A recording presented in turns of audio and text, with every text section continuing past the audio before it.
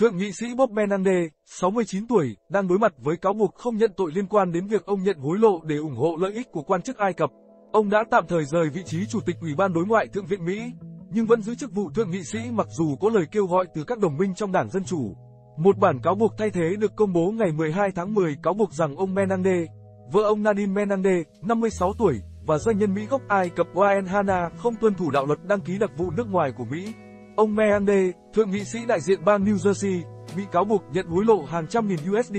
vàng miếng và một chiếc ô tô Mercedes-Benz từ năm 2018 đến năm 2022 để sử dụng tầm ảnh hưởng của mình nhằm phục vụ lợi ích của chính phủ Ai Cập. Theo cáo trạng mới, ông Menande đã thực hiện nhiều hành động hỗ trợ lợi ích của Ai Cập, bao gồm cả lợi ích của các quan chức tình báo và quân đội Ai Cập, và ông đã hợp tác với vợ mình và doanh nhân Hana để thực hiện những hành động này. Đây là lần thứ hai trong vòng 8 năm mà ông phải đối mặt với vụ truy tố.